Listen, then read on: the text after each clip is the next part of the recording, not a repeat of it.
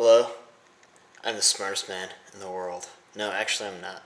Um, so, I've just completed my first live test and uh, it needs some tweaking, but I'm going to show you guys the gyro talking to the skateboard and having it self balance. It doesn't really self balance right now. Uh, I have it propped up. But the cool thing is now my self balancing skateboard responds to the gyro.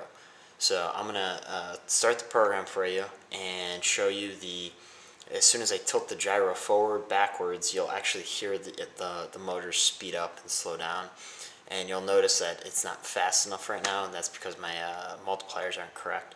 But literally, this is uh, the first test of it uh, in a working environment.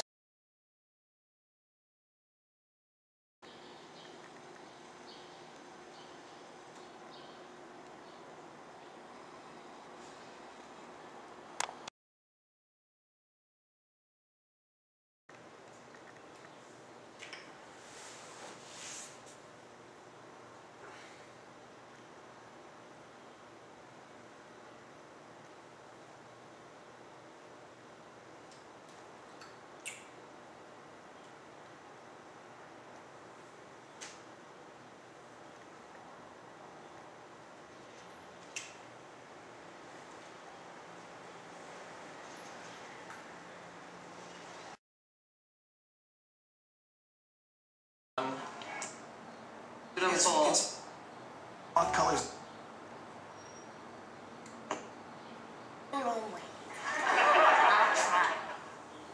Arnold, we're waiting.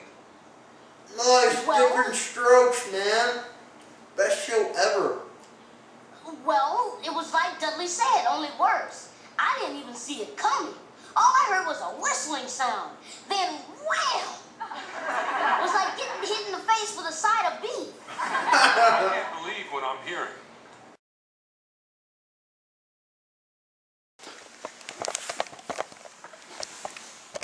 So here's Visual Studio in all its glory and my uh, wonderful crappy testing application. So I'm going to start it up. And just so you know, so here's the skateboard. There's my gyro. And as you can see, skateboard's actually propped up. So it's actually not going to run. But I'm going to start it. As you can see, my gyro's uh, resynchronizing. And you can hear the motors kind of rev.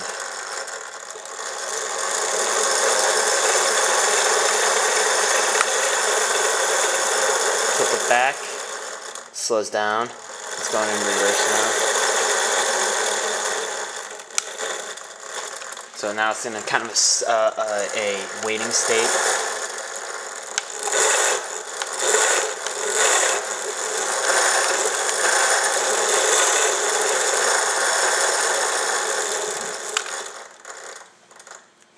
So now I'm going to stop it. But so there you go. That's uh, a good, good solid four months worth of work and uh, multiple, multiple uh, different uh, filters to get it to work. Right now, I'm using a Kalman filter that was developed from a uh, individual whose name I believe is Felipe. Um, I'm sorry if I mispronounced your name, but there you go. I'm quite happy. Uh, as you saw, that was actually the first time I tested out the turning code also um, and that's way more responsive. So I think uh, a big part of it is I just need to up my uh, multipliers, and it should be almost ready to test.